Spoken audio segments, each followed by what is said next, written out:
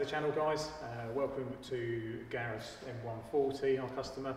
Uh, this car started off as a stock vehicle uh, which quickly went to stage 2 um, and then on to stage 2 plus with a load of extras including the M Performance rear differential, Powerflex rear subframe bushes, diff bushes and a few other bushes as well. Um, we did ultra racing uh, bracing kit for it.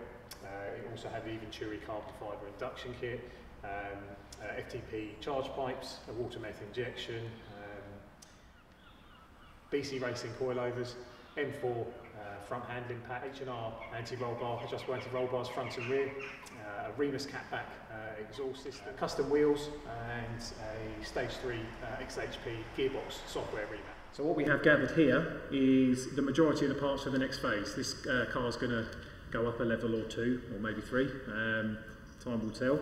Uh, we've gathered some amazing parts together for this build uh, for Gareth and his um, soon to be extremely fast uh, 140.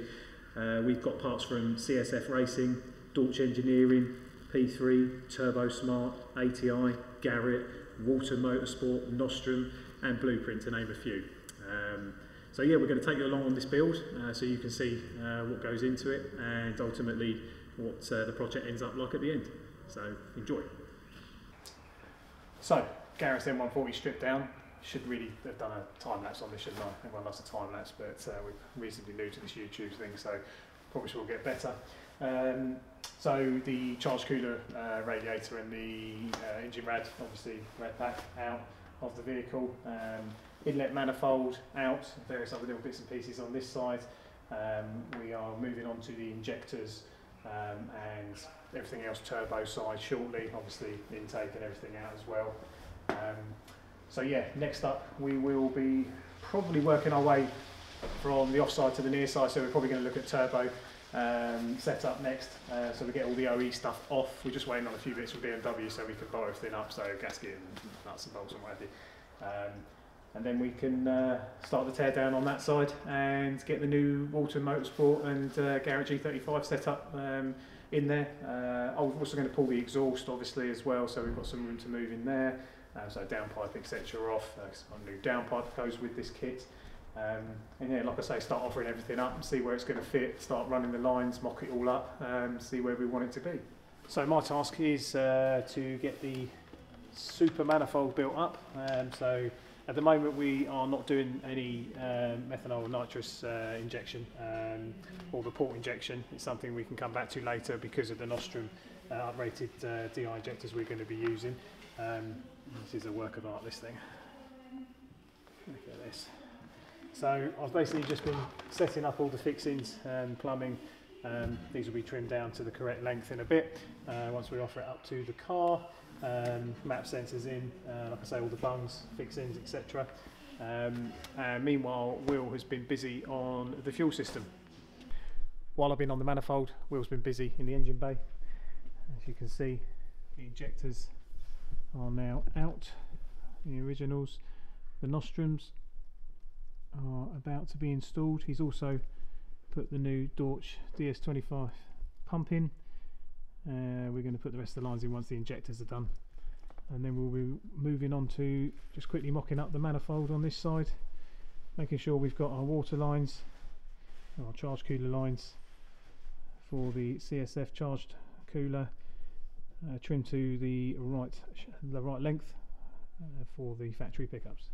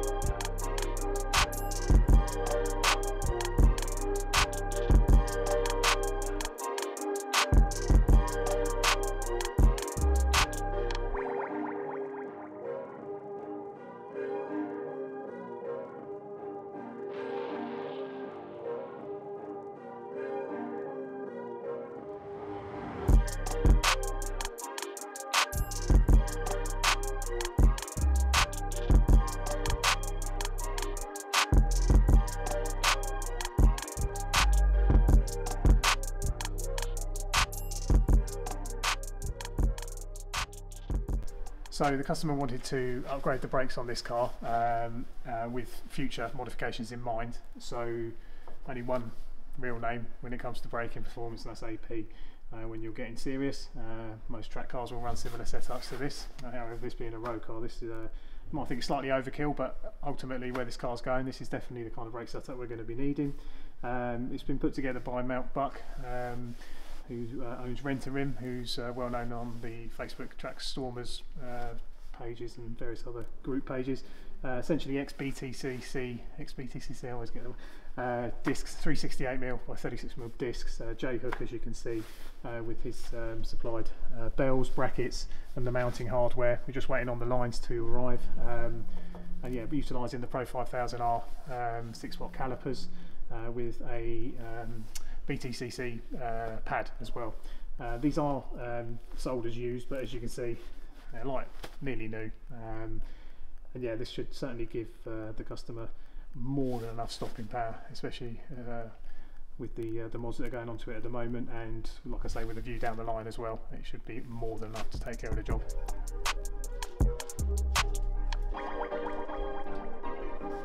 So we've got a bit of a gap um, to fill. Um, there's been various things happening, um, which is clear from one of our other videos, so I won't go into that now, but it's um, meant that I've been otherwise uh, distracted um, and haven't been able to film everything that I wanted to on uh, Gareth's 140 build.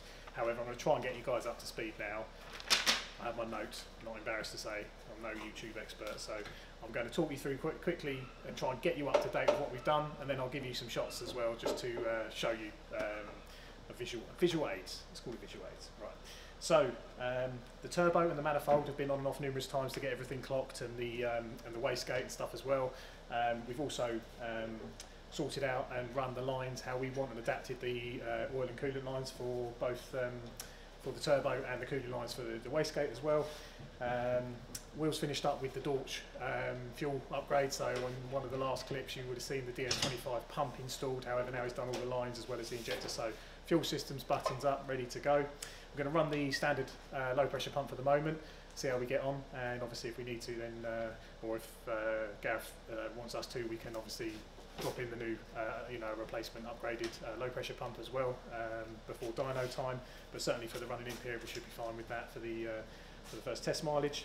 As you can see, the rad pack's back in. Um, you'll notice one of the uh, brace bars is missing. That's because of the custom intake kit we're, make, we're making, which is going to be front force, uh, front fed, uh, front force fed, front fed, uh, using a K&N uh, filter in the front and some four-inch uh, piping.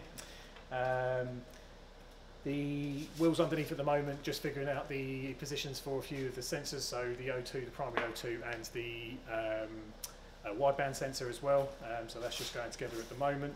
Uh, the calipers are being painted dolphin grey, the old E30 colour. Um, I think I think um, Gareth asked for a little bit more uh, metallic in it, so that's what we've requested.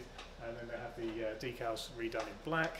Um, so yeah, as I said, with the uh, wideband uh, inside the car as well, uh, Will's been working on um, plumbing in the engine bay for the um, boost gauge and the AEM uh, wideband sensor as well, uh, which is going to be piggybacked into the um, GFB um, boost control kit because it has a AFR monitor built into it, so it's like a safeguard measure. More on that another time. Uh, we have had the bonnet carbon PPF wrapped by Identity Wraps. Um, show you that and now. It's got a new uh, steering wheel, customised uh, carbon steering wheel um, that's been installed into the vehicle. Uh, the new Yokohama A052 tyres are on and we're just going to clear, clean the wheels up and re-ceramic coat those. We've also uh, changed the oil, obviously we've primed the, uh, the turbo etc and the lines, um, but we've also changed the oil, we've moved over to the Motul now, the, five, uh, um, the 540 uh, 300V, um, so that's in there, new BMW oil filter in, um, obviously we'll prime the engine in due course, uh, and a new set of um, OEM spec plugs, they've gone in, We've deleted the PCV, although we are waiting uh, for the prototype kit for the B58 made by RS Geico uh, or Geeko, uh, which is Ryan. He's um, we've given him all the measurements. He's having that machined up at the moment, so we're going to have the first prototype kit for the B58 because the S55 um, PCV uh, is very slightly different sizes, um, so they need to be customised, so he's working on that for us at the moment. That's due in about a week's time. And we've done a evap delete as well. So we've removed everything we can and bunged up everything we can. Uh, luckily, there are lots of uh, ports on the um, uh, CSF charge cooler uh, which come with the bung, so you can have them open or you can have them closed. Uh, and then we've obviously got a few others in ourselves that are going to work for um, uh, rubber rubber um, rubber bungs for blocking off the other bits and pieces. So I think that's everything for the moment. And I'll, like I say, I'll, you have seen some shots as I've been waffling on, so you don't have to look at my face constantly. Um, and yeah, I think we're uh, yeah we just keep moving forwards. So Will's currently working on the four-inch custom inlet piping. He's making up um, in the uh, in the welding room, um, and looks like we're, we're getting close now. He's just doing a bit of trimming and uh, and final kind of test fitting up to get uh, in the right position, um, and then we can get that all plumbed in uh, and figure out the math sensor um, location as well. And I am now getting on the PCV delete kit from RS Geico. So we now have the front hose connector drilled, grub screwed into place. It's been machined internally so it fits nice and snug but a grub screw just for extra precaution. And the top plate is now in, drilled and grub screwed as well. So next we will move on to the lines. Okay, so the PCV system's now installed. I'll drop a little video in over while I'm talking here to show you that.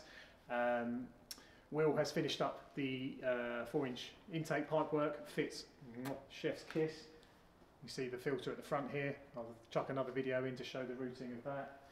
Uh, the cooling system, charge cooler system and engine coolants all filled uh, up. Uh, the base map has been received and we have uploaded that. Uh, we also had another delivery, the spool low pressure uh, twin in-tank low pressure fuel pump uh, kit turned up.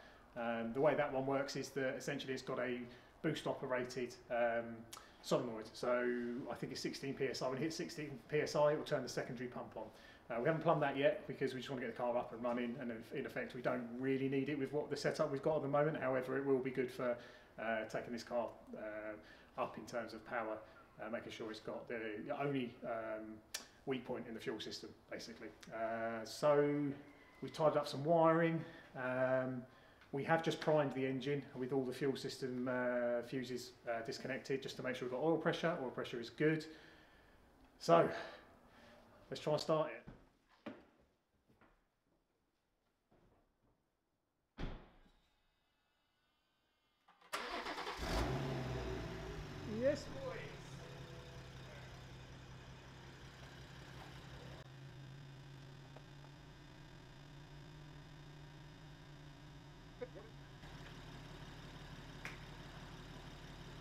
Okay, so here we have the Spool Performance Stage 3 low pressure fuel pump.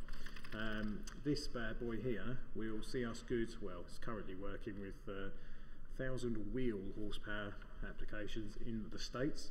Um, essentially it's a drop-in unit, so you've got a complete bucket if you will, um, and it has a twin pump setup uh, where the Oh, E1 has just a single pump setup, and this one has a boost reference it picks up from the front of the vehicle.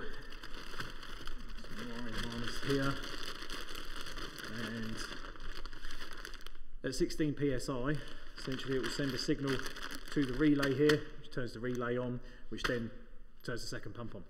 So just to make sure it's got enough fuel uh, getting up to the high pressure pump. Um, so yeah, Will's jumping on this one now and he's going to get this installed and then we will start it again, run some quick tests if everything's good. On to the next thing. Perfect. Perfect.